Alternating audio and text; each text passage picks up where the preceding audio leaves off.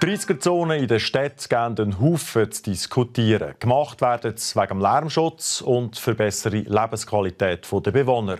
Und das auch auf Hauptstrassen in der Stadt. Verschiedene Bundesgerichtsentscheide unterstützen das.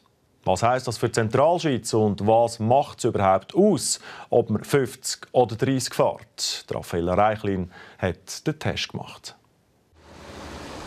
30 oder 50? Hört man das?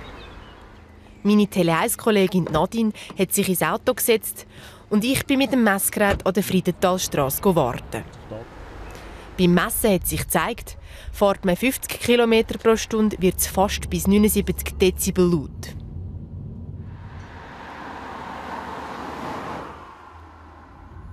Fährt Nadine mit Tempo 30, schlägt das Messgerät bis höchstens 73 Dezibel aus.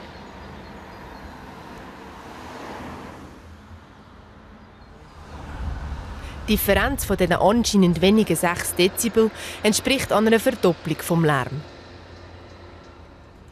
Der Regierungsrat Robert Küng rechnet mit mehr Anfragen zum Tempo 30 beim Kanton.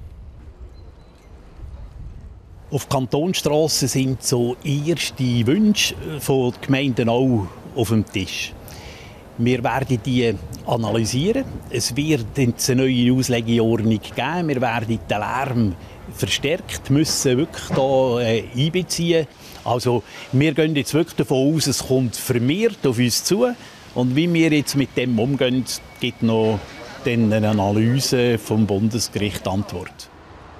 Ich bin heute Nachmittag auch noch an der Zürichstraße vorbei und habe die Leute, die vorbeigelaufen sind, gefragt, ob sie eine Reduktion von 50 auf 30 Tage gut fänden. Der Lärm, das, der Lärmpegel macht viele Leute krank. Ich denke, je schneller, desto besser. Das stimmt gar nicht. Lieber langsamer und sicherer Ort und niemand gefährden und weniger Verschmutzung. Ja.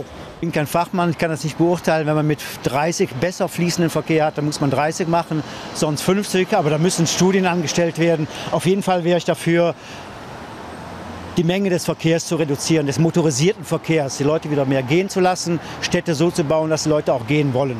Alles andere züchtet nur noch mehr Kolonnen. Der Verkehr muss flüssig gehen und mit 50 ist in der Ordnung. Tempo 50 oder 30? Den Unterschied hört man, aber nicht alle Leute ziehen den gleichen Schluss daraus.